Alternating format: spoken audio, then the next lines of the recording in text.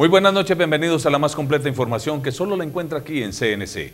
Estas son las noticias que estaremos desarrollando en la presente emisión.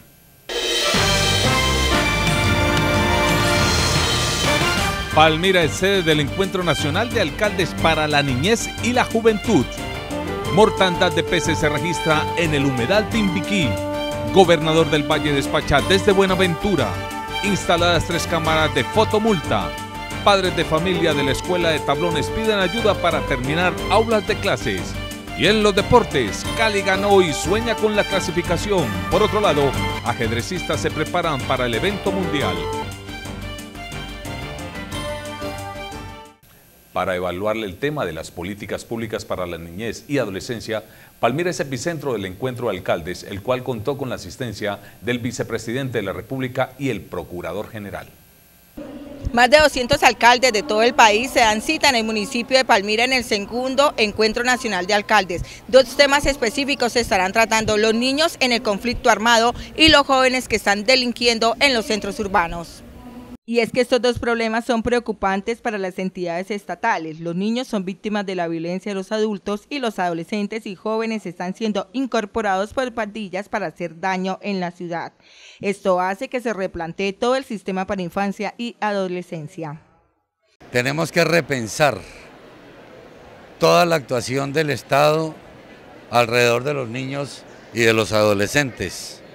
El camino a la paz que se tiene que construir con el cese al fuego, tiene un componente fundamental para la sociedad colombiana, que son los niños y los adolescentes. Por eso la importancia de este encuentro, por eso la importancia de la feria y por eso lo significativo que este encuentro y esta feria de oportunidades para niños y adolescentes se dé en esta importante ciudad de Palmira en el Valle del Cauca. Algunos alcaldes participantes hablaron de políticas públicas para población de niños y jóvenes indígenas y el reclutamiento que se vive fruto aún del narcotráfico. Eh, nuestros programas están enfocados en especial en el tema de lo que es la recuperación, de la nutrición, el acompañamiento psicotécnico, psicomotriz, eh, la ampliación de todas las estructuras, tanto educativas como en la atención de la parte de salud, eh, garantizando también a través de los derechos adquiridos para que nuestro municipio, sobre todo la población infante indígena en el sector rural, no se incluya en la margen de lo que es el conflicto. Una situación que nos preocupa a todos los mandatarios locales, conocer de fondo las dificultades que tenemos y sobre todo la socialización de las políticas que en materia de eh, adolescencia, la niñez, la juventud tenemos en todo nuestro territorio. En el caso específico de Antioquia se trabajan grandes temas que si bien es cierto nunca son suficientes para digamos tener una política que cubra todas las expectativas y necesidades de, de estos grupos poblacionales, también es cierto que en materia de estos derechos se ha ido avanzando y se les ha dado bastante relevancia en los últimos tiempos. El alcalde de Palmira hizo un llamado para que el Estado apropie más recursos para atender a los niños y jóvenes de nuestro país. Del mismo modo, considero que superar las circunstancias que hicieron necesario el 4 por mil por parte para la sostenibilidad del sistema financiero, esta sea dedicada a una propensión con la que se sueñan las sociedades más justas. Ningún niño o niña se puede ir a dormir con hambre. En estas líneas, los recursos generados apuntarían a suplir las necesidades alimenticias de quien no solo consiguen su ración en el sistema escolar, sino además en una complementación que le garantice un desarrollo adecuado. Como añadidura de esta gestión, se deben dedicar recursos a expandir los centros de desarrollo infantil con los que desde la más tierna edad apuntaríamos al desarrollo de las nuevas generaciones de colombianos. El segundo encuentro de alcaldes finaliza este martes en el municipio de Palmira. El Procurador General de la Nación, Alejandro Ordóñez, resaltó la importancia de que el Ministerio Público esté atento a defender los derechos de los niños y haga cumplir la normatividad para los adolescentes y jóvenes. El procurador Alejandro Ordóñez fue enfático en asegurar que los alcaldes y gobernadores son los principales veedores de los derechos de los niños y adolescentes si se quiere reconstruir una nueva Colombia. Quiero realzar que solo quienes son conscientes y comprenden la dimensión de estos derechos señalados en la Constitución pueden, como servidores públicos, de manera acertada pensar en los derechos de los niños, los adolescentes y los jóvenes. Y eso es precisamente lo que como orientadores de destinos en cada una de sus regiones pretendo llamarles a la reflexión dinámica por cuanto el compromiso que tienen frente a la sociedad ya está adquiriendo con el voto de confianza dado a sus electores. Entonces, esos derechos señalados en la norma superior y en las leyes les corresponde a ustedes como primera autoridad política, civil y de policía que representan y a su vez jefes de la administración municipal garantizarlos permanentemente a la niñez, a la adolescencia y a la juventud. Aprovechó el evento para referirse al tema de la paz y el compromiso que cada colombiano tiene con este propósito, el cual requiere justicia y no impunidad. Que al país no se le puede dividir maniqueamente entre los amigos y los enemigos de la paz. En Colombia no hay colombiano que sea enemigo de la paz, porque no hay familia que no haya sufrido en estos 50 años los rigores de la violencia, ya sea ofrendando su sangre, ya sea ofrendando su libertad, ya sea ofrendando sus bienes suyos o los de los suyos o los de sus cercanos. No hay en Colombia familia que no haya sido lacerada por los rigores de la violencia.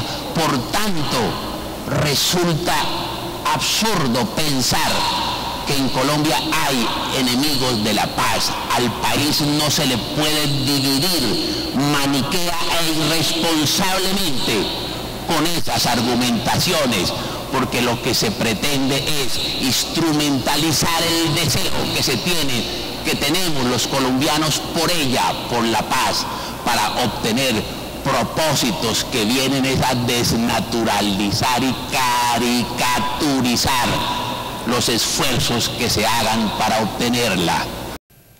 Se dio apertura a la décima edición de la Feria Nacional del Niño y su Mundo, evento que se realiza en el recinto ferial Álvaro Domínguez Vallecilla.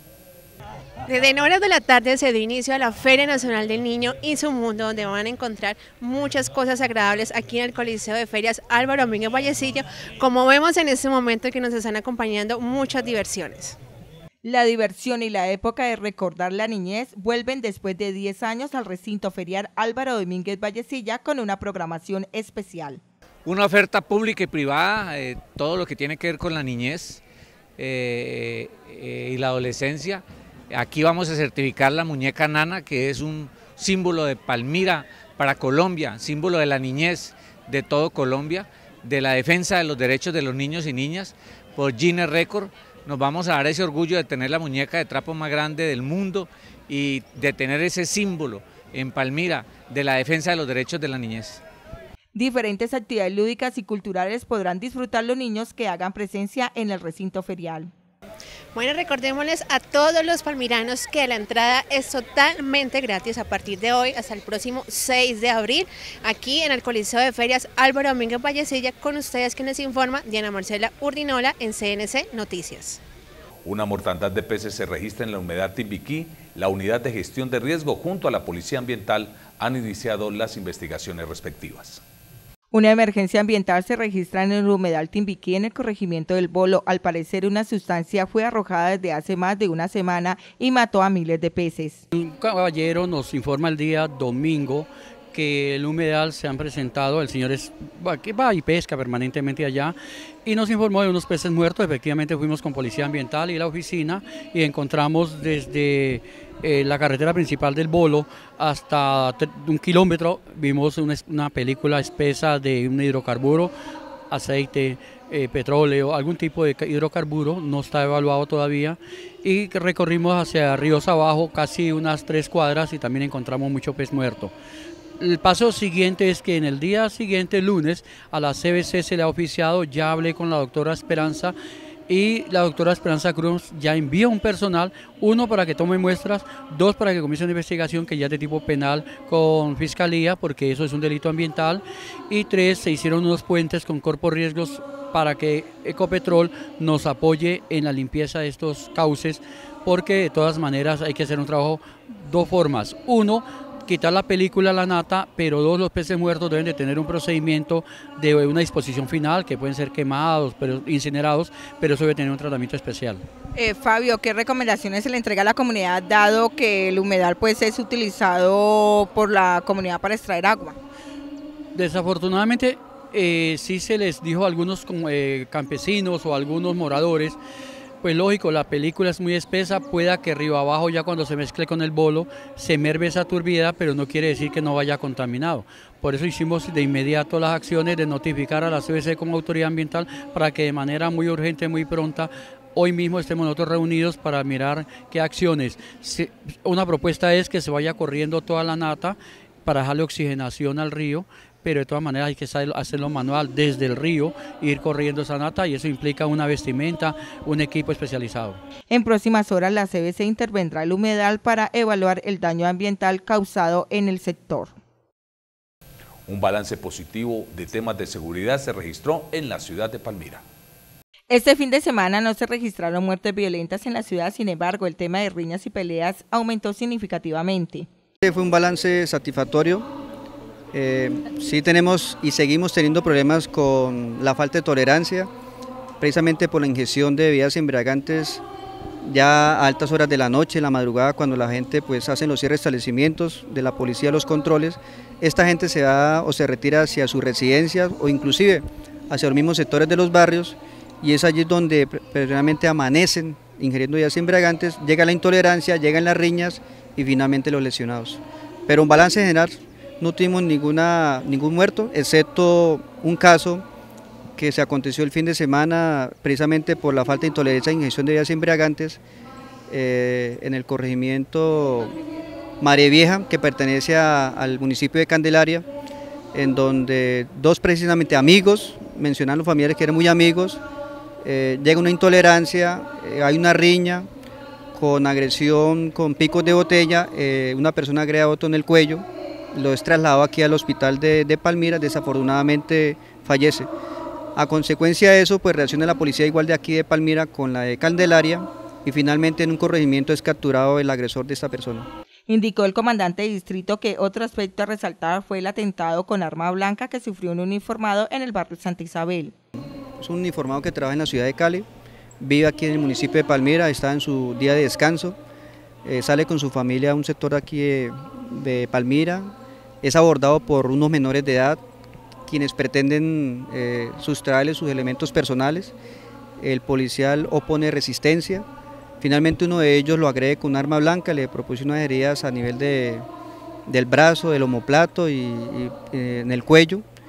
Eh, inmediatamente esos menores se retiran del sector, la comunidad del sector llama al 1, 2 y 3, se hace el cierre, reacciona la patrulla del cuadrante Finalmente tenemos la captura de uno de estos menores de edad, en donde finalmente uno de los testigos de los hechos menciona que este menor participó en, los hechos que acontecieron al policial. Por último, expresó el oficial que es vital que la comunidad continúe denunciando hechos que atenten contra la seguridad ciudadana.